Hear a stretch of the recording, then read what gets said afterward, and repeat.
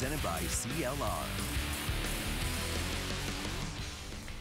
Since the death of Minnie Minoso last weekend, the city of Chicago and the sports world has paid respects to the baseball trailblazer. The outpouring continued on Saturday with another Chicago legend taking his final bow. Jen Latta has more. It is a sad day, but but Minnie had Minnie did have a great life. Um, you know, I just thought he was going to live forever, uh, but it is sad. We're going to miss him. A funeral for one of baseball's best friends.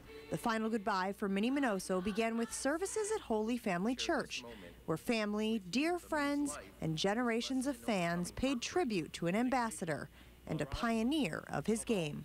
When he was unfairly passed over for the Hall of Fame, Minnie said, if it even hurt, even if it hurts on the inside, I will always be smiling on the outside.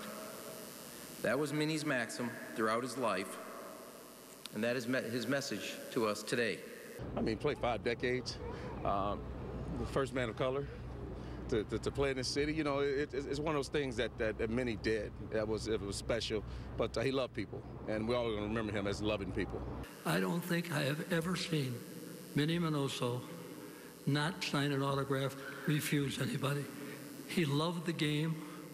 He was proud of his heritage, but he was also proud that he was a major league ball player playing for the Chicago White Sox. You know, sometimes we take people for granted, uh, and you, you don't fully, I think, appreciate them while they're here. I think this man was appreciated.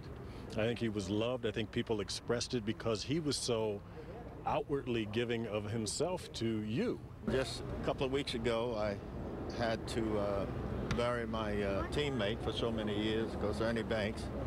And, uh, you know, to hear the other day that uh, Orestes Minnie uh, had passed away. Two great people, two great baseball players who love Chicago. I'm from Cuba, and then uh, he's the only one that made it possible for us. And uh, he was like my big, my big brother, and uh, Minnie to me he was like my big brother, my father, and I want to miss it where he is historically. Um, you know, first Latin American All-Star, first man to make a black man to break the color barrier for the White Sox. He was an All-Star three times before Ernie Banks debuted for the Cubs. I mean, there's this sense of history about him that's truly amazing. He was the Latin Jackie Robinson. And in the tradition of Chicago legends lost, the Cuban Comet made one final trip to the place that was his own heaven on earth. If we were all like Minnie, what a beautiful world this would be dignity to everybody. He embodied the human spirit, and it made us all proud to know him. And um, he made us feel good about ourselves because he was so easy to love. I wish that he could have lived long enough to see himself get into the Hall of Fame. He deserves to be in there. He deserves, and he deserves to.